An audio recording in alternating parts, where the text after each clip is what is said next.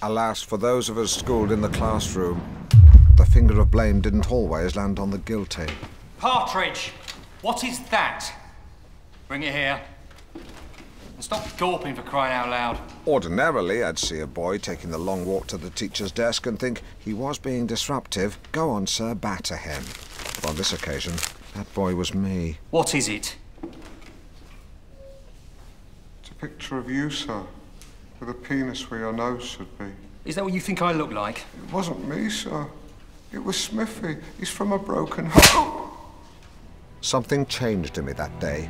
I had walked to school a boy, Now sit down, you lemon. but I returned home. A big boy.